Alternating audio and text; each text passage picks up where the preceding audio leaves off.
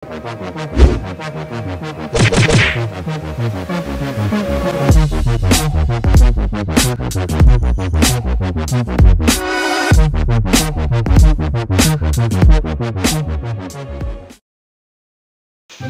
yan mga idol, welcome back to my channel and today, birthday ko nga. Alright, 21 na ako.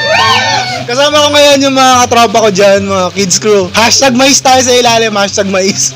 Ah, maraming maraming salamat sa lahat na nag-comment ng mga tanong nyo. Isa-isa na natin yung mga tanong nyo from Facebook. Maraming maraming salamat. Kung sino yung huling mabubunot ko, bibigyan natin ng 100 pesos load. Alright, siya na bahala kung kanino niya ibibigay. Para sa unang question, Jer shoutout kay Jerly de Tablan. Ano yung mga kasalanan mo po na sobra mong pinagsisihan? Gogo. sorry, sorry. Ang bigat naman ng talong, pre. Ano, yun nangupit ako. so yun, yung kupitan yung magulang ko, kasalanan yun. Pinakamalaki, pinakamalaki. Kag ang haba, ang haba, pre. Hindi, so, shoutout kay Ate Liwel, ilaw Ate Liwel, shoutout sa'yo. Sabi niya, masaya ka ba na nakilala mo kami?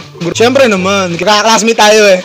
Hindi ka ba nagsisisi na nagaroon ka ng mga kaibigang abnormal kagaya ni ate? Hindi po kasi same vibes tayo. Let's go. Tapos status nyo ng bebe. Alam mo na kung sino yon. Okay kami te.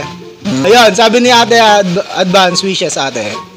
Maging healthy ka lagi. Pagpatuloy mo yung mga pagiging matulungin at pagiging mabait mo sa kapwa. Ma-achieve mo lahat ng goal mo sa buhay. Magkaroon ka ng malawak na pang-unawa at mahaba pang pasensya. Thank you po ate. Thank you. Thank you. Sabi naman ni, ni Lawrence De La Paz Velez. Shoutout sa'yo, nandito siya ngayon. De Paz pala, De Paz. Sabi ni Lawrence De Paz. Sabi niya, bakit?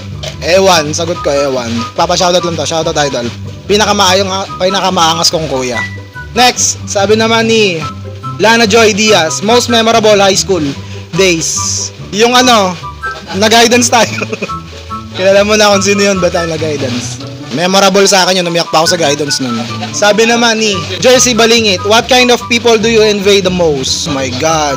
Sa akin, gago, kinaiingitan. Ano, syempre yung mga, mga payat, yung mga mapuputi masyado, yun. Hindi kasi tayo ganun, um, insecure.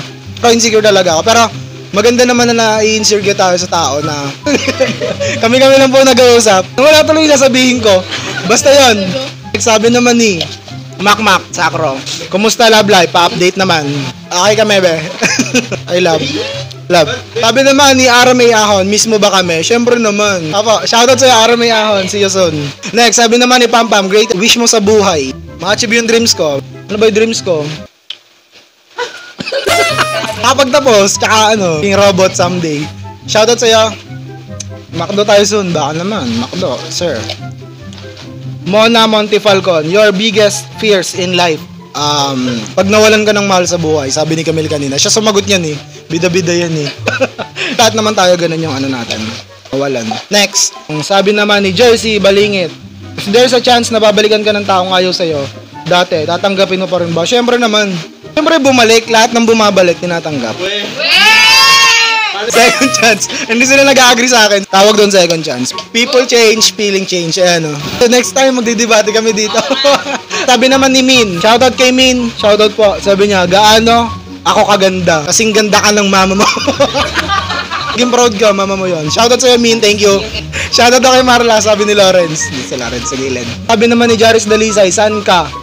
Niloloko or manloloko. Hindi ko alam, eh, hindi naman natin ma ano masasabi kung niloloko tayo or niloloko tayo. Pero syempre, hindi naman ako nanloloko pero nasa. Next na tayo.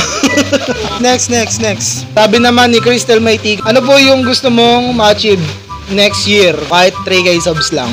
Alright. Thank you, thank you, Crystal Maitigong. No, nararamdaman ko na yung dugyot ko dito. Sabi ni Christian, H. Mendez, pinakaayaw mong tao, yung nangiiwan, syempre. Shoutout Christian H. Mendez. Sabi naman ni Crystal Jean, Monique, Li, ano to, Limson, Monique, si Monique. Hello po, shoutout sa'yo, idol. Sabi niya, sino yung taong gusto mo makasama panghabang buhay? Maliban sa pamilya mo at bakit? Kaibigan. Tsaka syempre, girlfriend. Ito na, next, next na. Next, sabi naman ni Karen Bartol- Bartolome, one thing na gusto mong balikan at bakit? Pag nagala kami, ano magkakatropa? Pinaka gusto kong balikan yung ano, yung maglalakad ka na walang face mask. Malaya, yun. Yun yung pinaka masarap balikan para sa ating lahat yun. Alright. Next, konti na lang. Ang haba pala nito. Kina, sa ito, mamili ka, ikaw yung mangiiwan, ikaw yung nangiiwan. Parang gago yung mga tanong ano, doon na lang ako sa ano, ako yung iniiwan. Sanay na ako doon.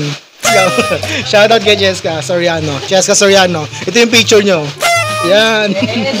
Next, sabi naman ni Paul Angelo Navera. Sabi niya, tatak ng brief ko.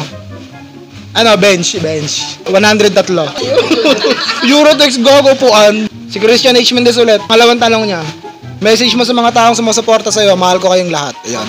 Shoutout sa Ebe. Hmm, mahal ko kayong lahat. Bakit? Ayaw mo ba? Sabi naman ni Labars mo. T. T mo. Puta. Baboy ng pangalan, pre. Happy birthday daw. Happy birthday. Ang angas ng pangalan mo. Sabi naman ni Alexander Cruda. Sinong vlogger influencer ang iniidolo mo? Ang init dito, Gogi. Si ano, Kong TV. Siyempre, si Kong TV. Kong TV lang tayo, Kong TV, siyempre. Team Payaman, Team Payaman. Ayun na, sino kaya mananalo ng ano, load? Si Christian H. Mendez. Jowa reveal. Ito na. Pokemon! Last ano, last three, last three, last three question. Sabi ni Crazy Linil Silva.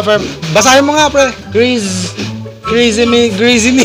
Crazy Silva Permeho. Mapapayo niyo po sa mga gustong magsimula sa YouTube tulad ko. Ngayon pa lang, be, mag-umpisa ka na, be, kasi libre pa yan. Tsaka, gawin mo lang lahat ng gusto mo, be, sa buhay. Mag-umpisa ka na, be, sa YouTube, so support ako sa'yo, be. John Stepa, biggest regrets mo. Anong biggest regrets ko? Kayo nga magbigay ng biggest regrets ko. Wala. Yung mga... Basta may ibang tao na nagsisinungaling ako, ganyan. Ba't pala hindi ko ginagawa yun?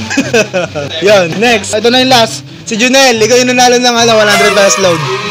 Congrats, Junel. Junel, go there. Junel, bigyan kita ng load, be. Sabi niya, what is the biggest birthday gift na natanggap mo, kuya? biggest best birthday gift Sorry guys. Naputal. BTW. Congrats on Nonolo. Message mo oko. Pera makuha mo prize mo he. So yun mga ka-idol, maraming maraming salamat sa lahat ng nagtanong and thank you sa lahat ng bumate and abangan nyo yung susunod na vlog namin, mag-swimming kami. So yun, hanggang dito na lang. See you next video. Let's go! Brr!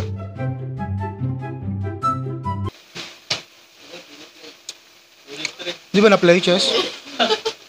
Pinaglolokohan niyo ata ako eh.